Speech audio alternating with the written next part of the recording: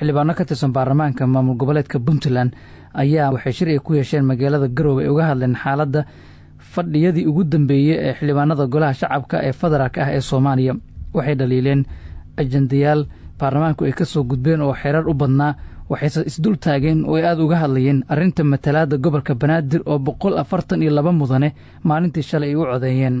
Matalaadda gobolka waxaa laga soo maray dhibaatooyin badan muddo dheer ayay dadka muqdisho u qeyla dhaaminayeen inay helaan xuquuqda ay mudan yihiin hase yeeshee aakhirkii maalintii shalay ayay baarlamaanka soomaaliya go'aan ku gaareen. Xildhibaanada maamul goboleedka puntland waxay hoggaanka maamulkaasi ugu baaqeen in ay go'aan gooni isutaag ah ay qaataan sabab la xiriirta in muqdisho saddex iyo toban xubnood ama gobolka banaadir saddex iyo toban xubnood uu ku yeesho golaha aqalka sare taas oo ay sheegeen inaysan ku imaanin madal iyo wadatashi laakiin ay ku timid waxay ugu yeereen go'aan gadaal oo ka riixayo madaxweynaha soomaaliya maxamed cabdulaahi farmaajo.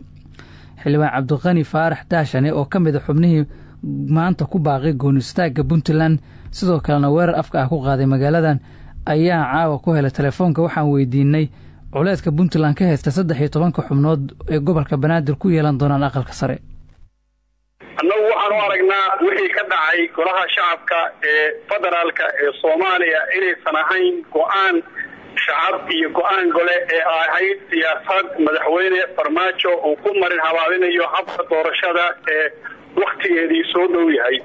Oo isagu ku samaysanayay cimri dher inuu ku sii fadhiyo kursiga. Dalka intii maanta laga qabtay oo muddo laga qabanayena oo ahayd in dadkii soomaaliyeed ee kala qaxay dib la isugu soo cesho in magaaladii muqdisho ee caasimada ahayd oo ummadeedu madaxdeed uu kala qaybiyo.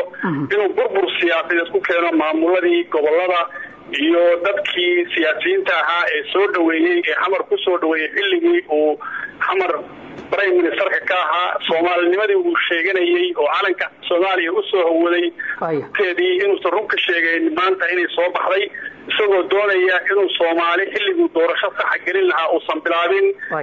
Waktigii ugu horeysay doorashadiisa markuu ku guulaystay waxyaalihii uu sheegaya oo lahaa soomaaliya geed walbaan la fadhiisanayaa guri walbaan fadhiisanayaa nabadoon baan noqonayaa uu ku bedelay inuu noqoshay burburiye. Madaxweynuhu go'aan baarlamaan oo ay gaareen xildhibaanadii golaha shacabka. Shaqo kuma lahan kama tirsano ma hogaamiyo waa hay'ad kaloo madax bannaan. Muxuu intaasoo dhibaata waa soo warisa madaxweynuhu ku mutaysta haddii baarlamaanka go'aan gaareen. Ma ahayn baarlamaan xora oo xalaal ah oo madax fikirkooda u madax bannaan waxay ahayd arrin uu soo abaabulay oo baarlamaanka uu ku kala jabinayey waxayna ahayd arrin uu ka soo shaqeeyey isaga iyo guddoomiyaha baarlamaanka. Haddii uu baarlamaanku arrinkaa fadhiistay muxuu u dhegaysan waayo baaqii ka soo baxay aqalka sare oo uu kaga soo horjeeday waxa uu samaynayo farmaajo. Muxuu ugu isugu beegay baaqii ahaa in maamul goboleedadu ay isu yimaadaan inta aan xalimo yaray aysan imaan golaha wakiilada oo aysan baaqa ka jeedin. Taasoo dhan waxay ahaayeen laqdabo madaxweynuhu uu ku samaynayey ama waxay ahayd inuu ka jeediyo indhaha ummadda soomaaliyeed inuu ka jeediyo khudbadda xalimo yaray oo cimri dherarka ku salaysnayd oo ay rabtay madaxweynaha inay ugu darto muddo dheer oo ah hal sano iyo saddex bilood ayuu wuxuu u sameeyey inuu dhex dhigo waxa la yidhahda maqaamka caasubadda oo ay soomaalida uu ku mashquuliyo madaxweynuhu marka isaga ayaa kala jebiyey golihii shacabka ee soomaaliya labana u qeybshay suu danihiisa gaarka uga dhex arko waana ogtihiin xildhibaanada xildhibaan waa waxaan doonaynaa baarlamaanka go'aanada ay gaareen oo dhan miyaa dood ka qabtaan mise xeerar gaar ah ayaa diidantiin? Dhammaanba baaqadii ka soo baxay baarlamaanka sidiisa horta waxa weye wax alla wixii ay ansixiyeen wax dastuurka soomaaliyeed ee qabi qoraalka waafaqsan ma ahayn mana ay ahayn xilligeedii loo baahnaa in maanta la soo dhigo maqaamka caasimada iyo in saddex iyo toban xubnood loogu daro maqaamka caasimada soomaaliya cid diidan ma jirto. Laakiin waxaa rabaa inay waktigeedii ay timaado oo ku soo beeganto maxaa maanta wakti kala guura. Waktigeeda goorma wey waktigeedu wuxuu ahaa markii dastuurka inta lagu heshiiyo qabyo qoraalka la furo oo mataqaana qolo walba. Maxaa caasimada soomaaliya yaa degan soomaaliya oo dhan baa degan soo maxaa reer u mataliya oo reer qal ugu daraya. Mataqaanaa xubno dheeraada.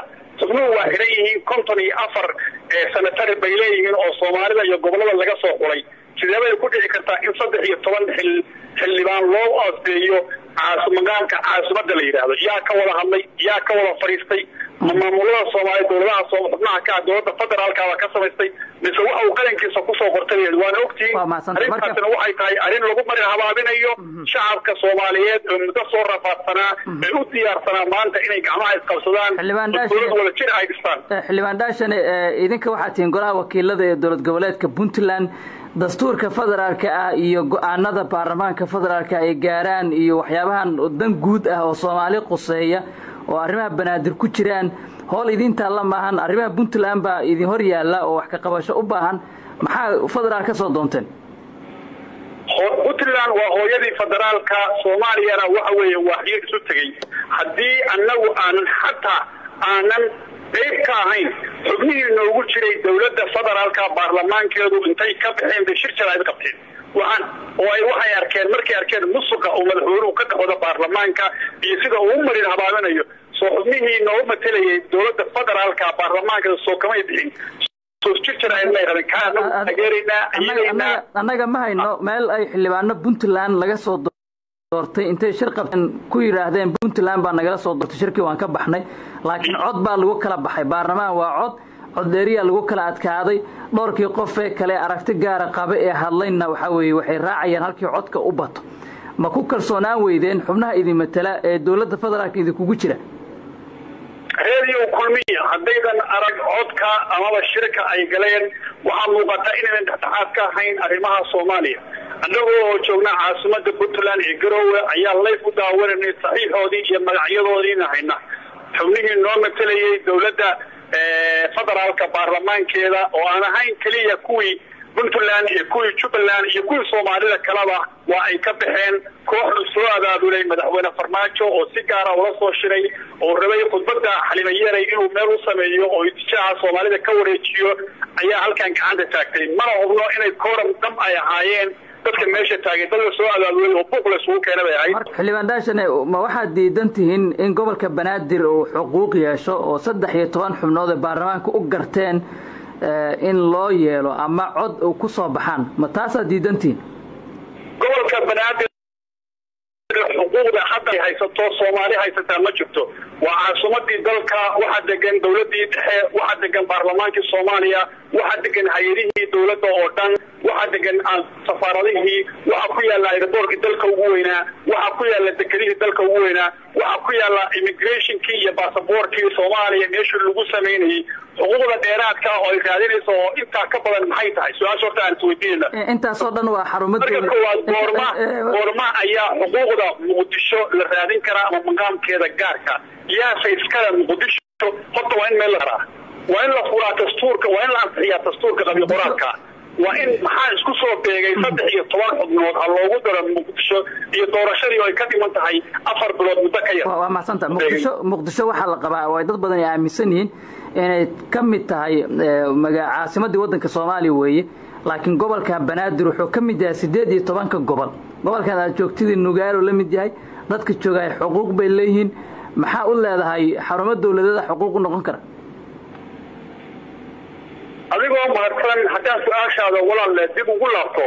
Hadday la mid tahay siddeed iyo tobankii gobol ee soomaaliya aaway gobolladii kale oo soomaaliya maxaa iyaga loogu dari waayo maqaamkii gobollada kale waxaa jira gobollo waaweyn waxaa ka mid a hargeysa waa gobol soomaaliyeed sida aad u sheegtay siddeed iyo tobankii gol boosaasaa ka mid a gaalkacyaa ka mid a kismaayaa ka mid a baydhabaa ka mid a gobollada waaweyn ee iyagu maqaamkoodii aawaye maxaa kalifay in gobol keliya?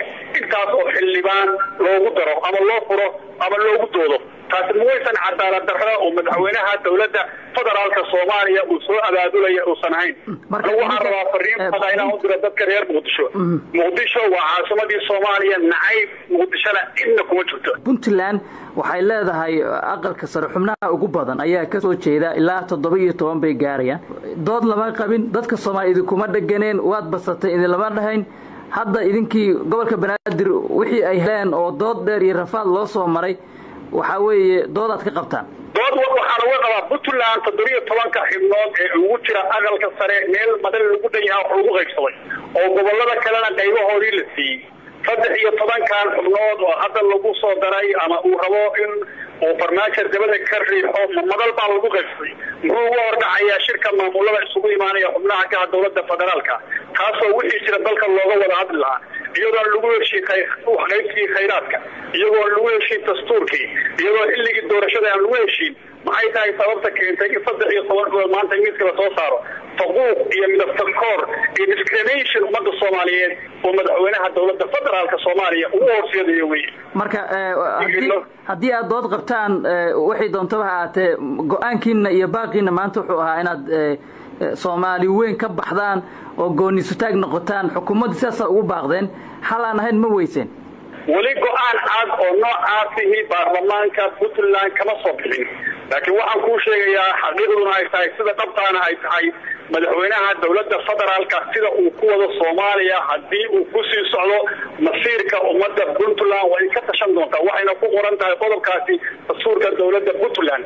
Waxaa la rabaa marka inta aysan taasi imaan soomaalidu waxa aan haysano inaysan burburin in meel looga soo wada jeesto sidii madaxweyne farmaajo looga soo saari lahaa gurigan sila soomaaliya ee ummadda soomaaliya dhiig badan kaga daatay sidii dib loogu yegleeli lahaa puntland gudaheeda waxaa ka jira dhibaatooyin xoog leh.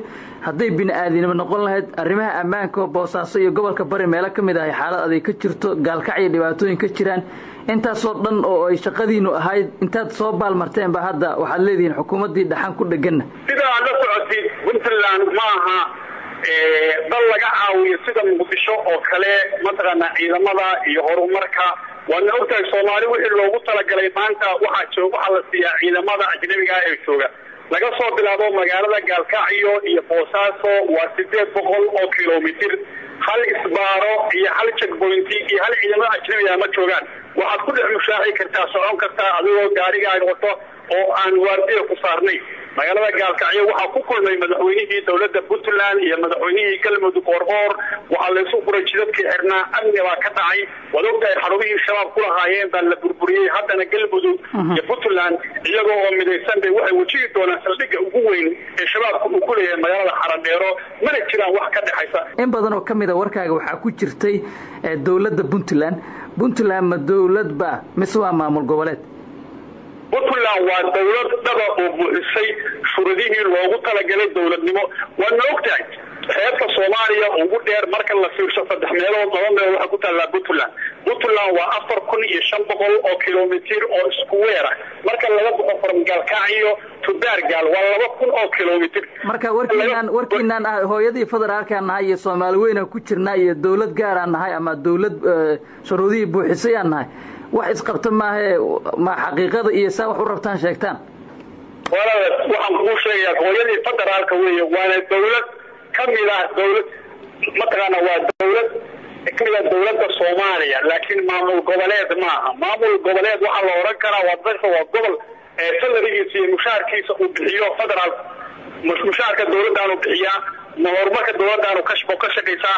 Waad ogtahay waa dowlad iskeed isugu filan. Maamusha saraakiisheeda maamusha ciidankeeda bixisa mataqaana wax alla wixii loogu talagalay oo dastuur dhamaystiran leh golayaal isxukuma leh. Waad ogtahay xataa maanta dowladda federaalka ee soomaaliya male mataqaana xuquuqulisaanka uma dhisna xataa? Puntland qodobka ugu furan ee dastuurka ugu yaalla ayay ku dhaqaaqi doontaa. Waxayna noqon doontaa dowlad iskeed u taagan laakiin weli waxaan xerinaynaa in ay wax ka soo baxaan waxna ka bedelaan waxa ay xamar ku hayaan. Cabdiqani faarax dhaashane oo ah xildhibaan ka tirsan baarlamaanka dowlad goboleedka puntland ayuu kaasi ah wuxuu ka hadlayey hadal ay maanta ka jeediyeen xildhibaano kale oo isaga qayb ka yahay magaalada garoowe kaas oo ahaa in madaxda puntland ay ugu baaqayaan